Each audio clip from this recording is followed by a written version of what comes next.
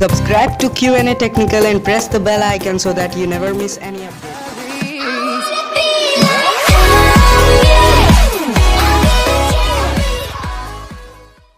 BlackBerry Motion smartphone was launched in October 2017. The phone comes with a 5.50-inch touchscreen display with a resolution of 1080 pixels by 1920 pixels at a PPI of 403 pixels per inch. The BlackBerry Motion is powered by 2 GHz octa-core Qualcomm Snapdragon 625 processor and it comes with 4 GB of RAM. The phone packs 32 GB of internal storage that can be expanded up to 200 GB via a micro SD card.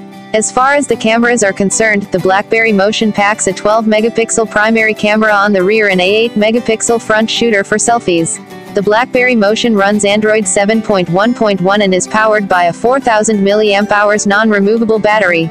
It measures 155.70 into 75.40 into 8.13, height into width into thickness. The BlackBerry Motion is a single SIM GSM smartphone that accepts a nano SIM. Connectivity options include Wi-Fi, GPS, Bluetooth, USB OTG, 3G and 4G. Sensors on the phone include compass magnetometer, proximity sensor, accelerometer, ambient light sensor and gyroscope.